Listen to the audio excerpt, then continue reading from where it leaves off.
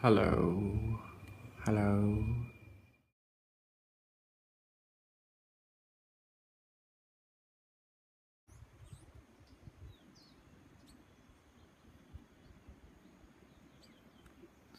So nice and lovely.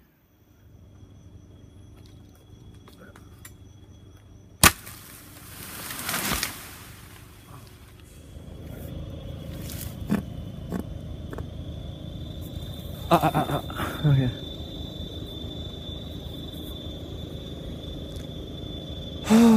okay, welcome to another update video of Terra Frutis. What I'm doing right now is clearing and mulching the uh, annonas. We're calling it anonadum. It's just a space that we're planting lots of annonas, which is the family of uh, soursop, rollinia, um, atemoya, cherimoya, custard apple. Um, what's the other one? Something else apple. Other apples. These sweet fruits. They, they can fruit pretty quick in under five years just from seed. Um, they're pretty good for a wet climate. And in this area we've got atemoyas, sugar apples, custard apple, um, yeah, maybe Bullock's Heart and uh, purple custard apple or purple sugar apple. But yeah, this is one of them. I've actually, I mean, I don't know. It's my fault, but yeah, I lost track of which ones are which, so I don't really know anymore which ones are which, but we'll know once they fruit. So here's one of them. As you can see, it was uh, mulched. I've already mulched everything around here. These uh, 10 plants or so. So I'm just gonna show you how they're doing and then we can look at them in an update video and you can see how much they've grown or how much they've died. So there's the first one right over there. Um, I'll show you that one last. This is the second one. This is the third one. I, I believe this is an Atemoya, which is probably one of the best ones, but of course it's doing, it's like one of the worst ones right now, but it's alright, it's got lots of leaves on it. It's coming back. Just mulched it, cleared out all the weeds around there underneath the mulch. Like first I removed the sticks, machete everything, and then I pull all the weeds that are close to it, and then I grab everything I can for mulching to smother the future weeds from coming up. And the other ones from creeping in.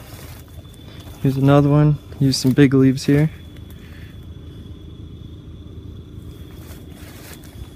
Here's a nice one. It's getting a little sunburned. That means we put it out here too young, but it's coming back and it's gonna, you know, give it time. It's a nice thing about these big trees. As long as we keep them alive, they'll pick it up and they'll, they'll take over soon.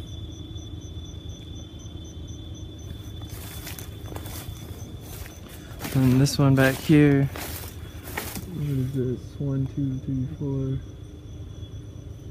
Four, fifth tree. This one's really seems like nothing, but it's still alive. It's that right there behind my machete. It's just a twig, so there's nothing to look at there really. But we'll see if it comes back. That's a nice thing about doing these videos. Right now you're just watching them and you'll see what's going on, but if you're watching these in a five years, ten years, we'll probably do some collections and speed up the time. And it's the magic of television. And there's a little one.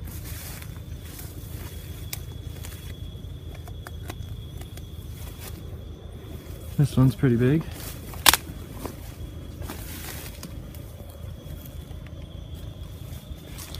Not sure what that one is. Might be a Soncoya. Which I recently had in Costa Rica and I'm actually pretty fond of them. Fibrous, but the fibers break easily in your mouth. This one must be like a custard apple or sugar apple. I guess.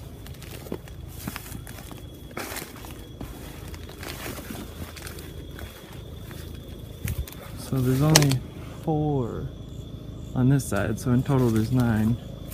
And we're gonna keep planting once we get more available.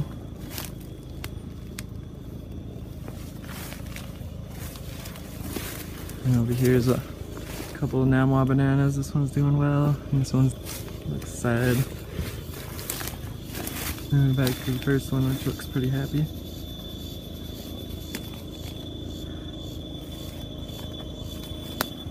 Yep. So that's a nonadome. Right next to papaya dome.